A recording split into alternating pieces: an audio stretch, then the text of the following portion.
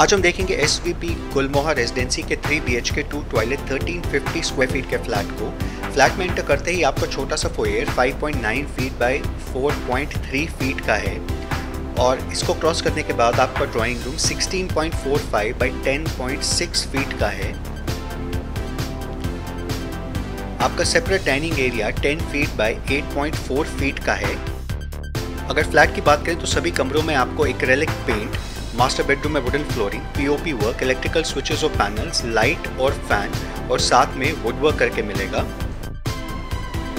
Common bathroom आपका 8 feet by 5 feet का है, और बाथरूम में आपकी वॉल टाइल्स सैनिटरी और सीपी फिटिंग्स लगा के मिलेंगे।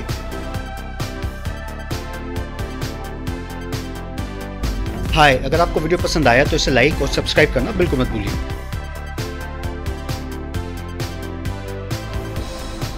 पहला बेडरूम आपका 12 फीट बाय 10 फीट का है। इस कमरे में अलमारी की जगह प्रोवाइड कराई गई है और वुडवर्क करके मिलता है। इस कमरे के साथ में कॉमन बाथरूम अटैच्ड है। इस कमरे के साथ की अटैच्ड बालकनी आपकी पाँच फीट की है।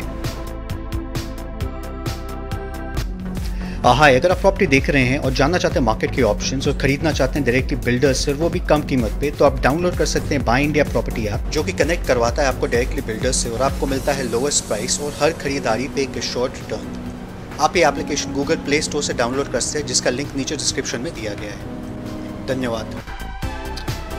दूसरा बेडरूम आपका 10 फीट बाय 10 फीट का है। इस कमरे में अलमारी की जगह प्रोवाइड नहीं कराई गई है।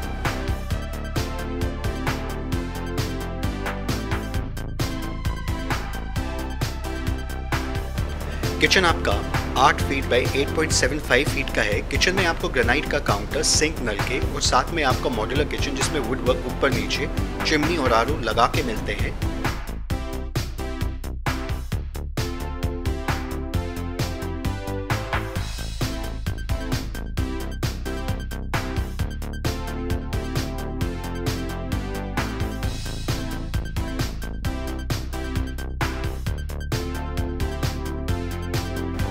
मास्टर बेडरूम आपका 14 फीट बाय 11 फीट का है और मास्टर बेडरूम में आपको वुडन लैमिनेटेड फ्लोरिंग लगा के मिलेगी, साथ में इस कमरे में आपकी अलमारी प्रोवाइड कराई गई है और वुड वर्क करके मिलता है।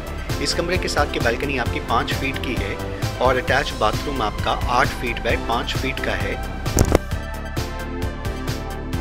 ओवरऑल बात की जाए तो ये 1350 में 3 बी के अच्छा साइज़ है और एक इंदिरापुरम की प्राइम लोकेशन में होने की वजह से ये अच्छा खरीदने का ऑप्शन हो सकता है।